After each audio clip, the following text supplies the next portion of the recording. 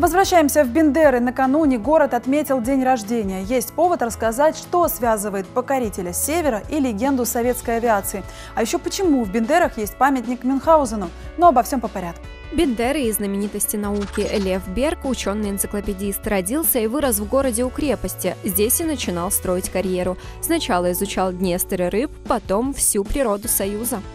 Одна из его книг э, посвящена нашему краю «Бессарабия. Страна, люди, хозяйство», написанная им в 1918 году. И эта книга э, является примером э, описания страны, потому что здесь он описывает и природу, и историю, и экономику, и население, и этнографию. В 1931 году Берг предложил ландшафтную типологию, ею пользуются до сих пор. Интересовался землей и другой бендерчанин Константин Гидроиц, известный советский агрохимик. Вначале он посвятил свою деятельность э, военной службе, надо сказать. Но затем он понял, что это не его путь. И поступил в лесной институт Пет, э, Петроградского университета. И закончил лесной институт – и, конечно, посвятил себя именно изучению почв.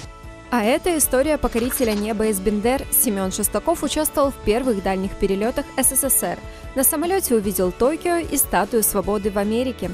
И это тоже наш земляк. Он родился в нашем городе и в годы Великой Отечественной войны тоже проявил себя как э, смелый большой герой.